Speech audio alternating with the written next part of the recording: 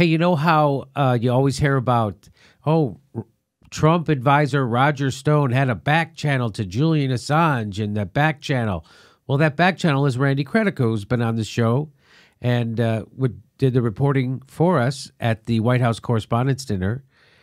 And he actually did have Julian Assange on his radio show and has talked to him. But that whole story about his connection with Roger Stone, because he's been subpoenaed and he's been on the Ari Melber show now like five times, try because well, it all it's all going to get explained. So it starts out a little confusing, but at the end we put a nice bow on it and we explain everything that's happening. Okay, because it was a little confusing to me too. So enjoy our talk with Julian Assange's back channel, or was he? So Think Progress did an interview with this guy Carl Cameron and it says exclusive former Fox News reporter says Russians colluded with Trump campaign through Roger Stone. New book details Russians' decis- decisive role. Decisive role in May. So the guy wrote a book, and he's selling a book, and his angle is that Russia is infiltrated our country and um, has taken over all our elections. Uh, but somehow Wall Street's bidding and fossil fuel and the military industrial complex, their bidding still keeps getting done. Even even with Russia running our elections, isn't that something? Mm-hmm. So here, I just want to go. So we this involves uh, Randy Credico. So they're gonna. So I got Randy with us. All right. So Randy, I'm gonna read a little bit of that article, and then you tell me tell us what it means. Okay. Okay. Somebody's got to read it. I haven't. Okay. Here we go. Trump confidant Roger Stone's success uh, success was have Trump's confidant Roger Stone's success was having the connections and creating the opportunities for Russian intelligence officer Guccifer 2.0 and other Russian groups to really start taking advantage of social media and pounding these negative memes that Hillary's a crook, etc. That's what Cameron explained to Think Progress. This guy Joe Romm or Rom has related in his new book, How to Go Viral and Reach Millions. So, has it been proven, Randy, that Guccifer is a Russian? No. In fact, it's been proven that he's not a Russian, that he's a cutout from uh, the CIA or the NSA.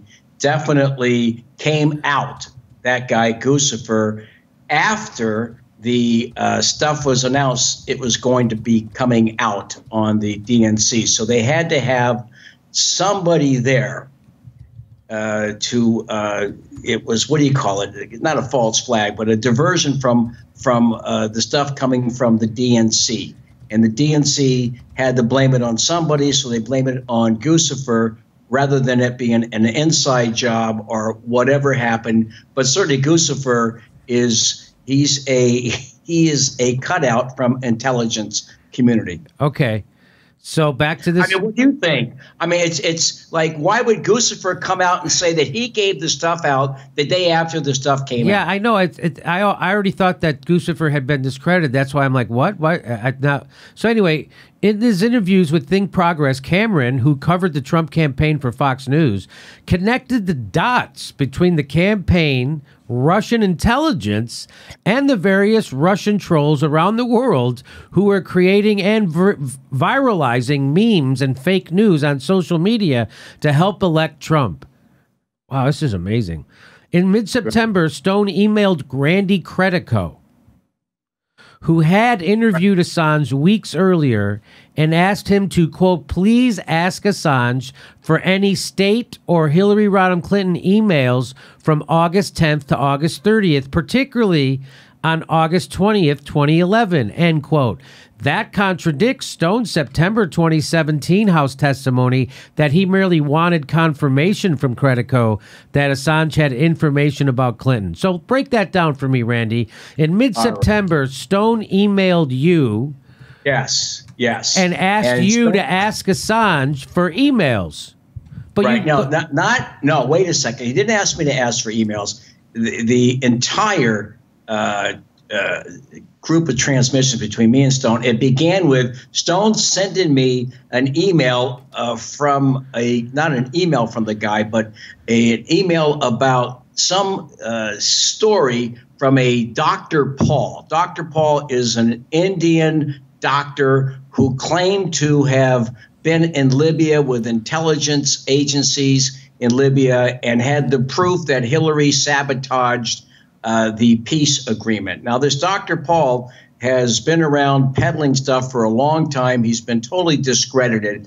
But Stone sent me the email. I looked at it. I said, This stuff is so off the top, way over the top. And I, I just kind of like, you know, sent him an email back saying, well, look into it. It looks interesting. And he wanted confirmation that Mr. Paul, who I think he was influence peddling with, he was trying, I think he was selling his so called back channel to Assange to ver- uh, verify uh, Mr. Paul's material, which was never put out. This stuff was never put out this material about Dr. Paul by anybody. So Dr. V. Paul, he's got this stuff. It was a four page PDF, and Stone wanted me to see if WikiLeaks had put it out or if they would verify it. I never sent it to uh, WikiLeaks. He was my Sam Nunberg. He kept bothering me about this story. I never passed it on. I kept it to myself, kind of laughed at it. And that's what they're referring to. That's what this guy Cameron is. Is that his name, Cameron? Yeah.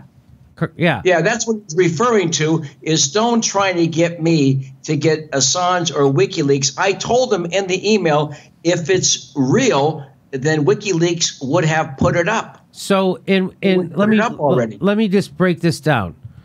Yes. So Stone please. was Stone was emailing you asking you to ask Assange to confirm if these emails were real or not, right?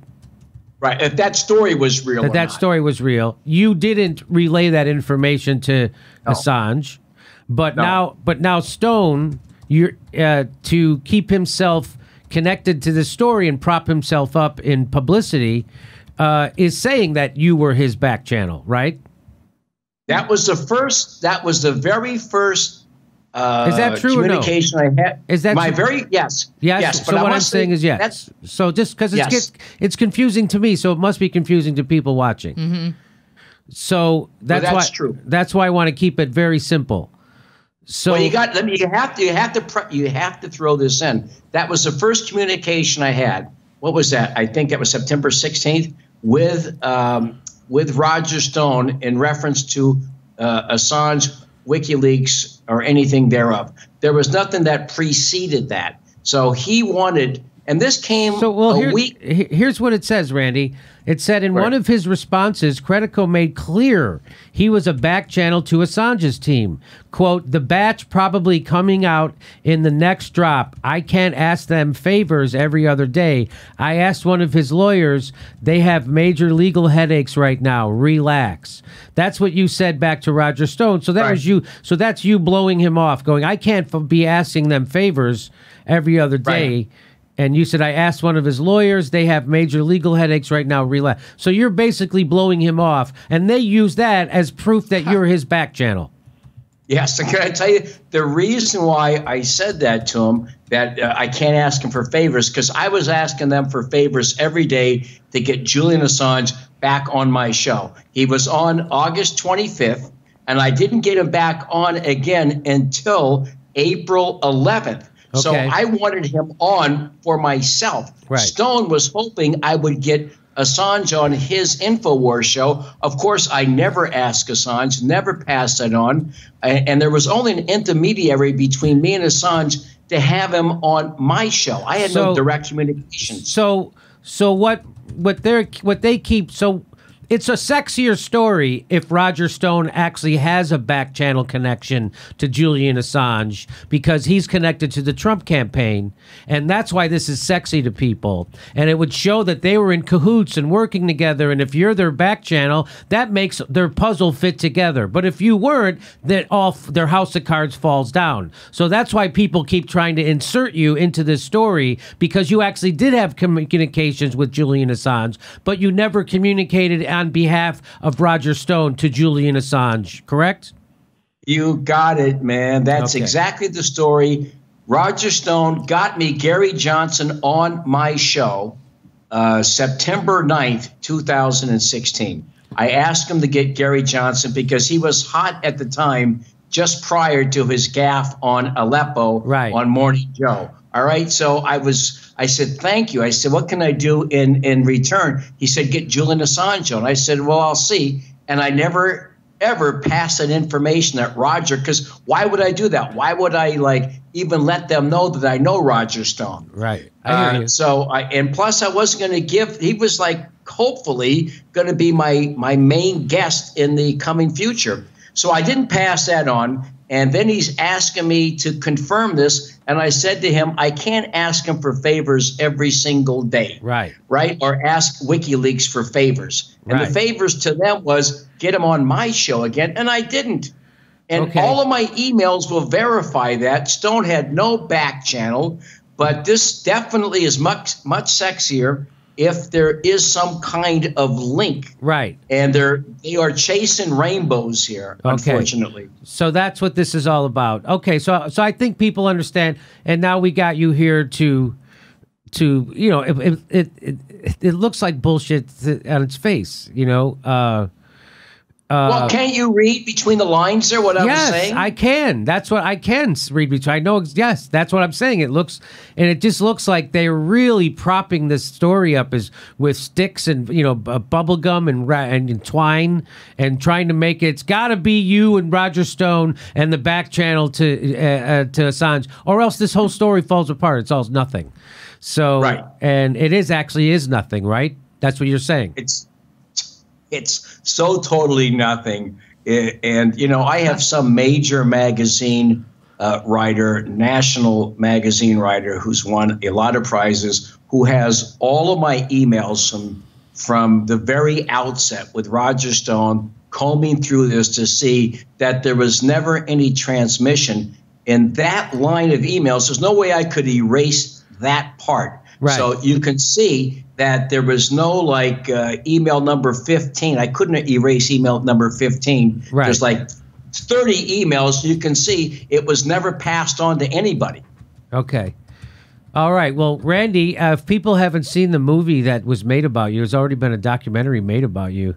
It's called 60 Spins Around the Sun. It was made by Laura Keitlinger. You should watch it if you haven't seen it. It's a great, it's on, available on YouTube for free. You can watch it right on YouTube, Right. 60 Spins Around the Sun. It tells you all about Randy Credico. It's, he's already had an amazing life. And um, yeah, there you go. Hey, uh, well, Randy, thanks for coming on and debunking that uh, article, uh, on, and uh, and we're we're privileged to get your story out. So thanks for sharing it with us. Our next live Jimmy Dore show is July 1st in Portland, Oregon, and July 15th in Chicago, Illinois.